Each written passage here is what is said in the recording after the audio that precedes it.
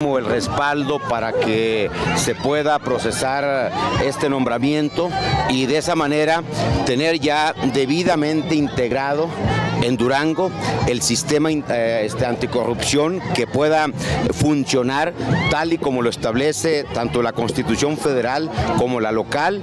Y bueno, ya está todo el, resto de, la, de las estructuras, por eso hablamos de un sistema porque no es solo una instancia, sino son varias instancias las que conforman eh, e, esta, este nuevo esquema de, combate a la, a la, corrupción eh, en, en las áreas gubernamentales. Esta semana que viene. La próxima semana estamos eh, valorando, este fin de semana habremos de, tomar la decisión. Este, quiero que sea una persona que cumpla desde luego primero con lo que establece la ley y además de eso pues que tenga un reconocimiento de la propia sociedad. Estamos valorando eso. Eh, yo la verdad estoy buscando la, posibilidad de que encontremos una mujer porque en el sistema no hay una sola mujer hasta ahorita. Ese tema no, no estuvo en manos del Ejecutivo porque ese fue, eh, estuvo en manos precisamente de los ciudadanos. Ahora lo que está en manos del Ejecutivo es poder enviar eh, el nombre, que en este caso de, yo espero que encontremos eh, el perfil de una mujer.